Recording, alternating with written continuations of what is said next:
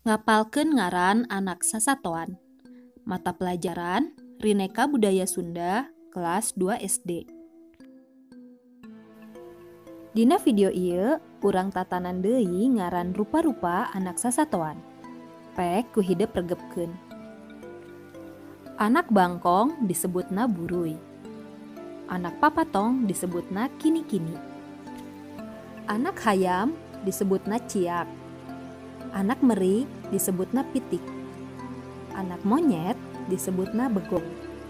Anak ucing disebutna bilatung. Anak embe disebutna ceme. Anak anjing disebutna kirik. Anak gajah disebutna menel. Anak maung disebutna aum.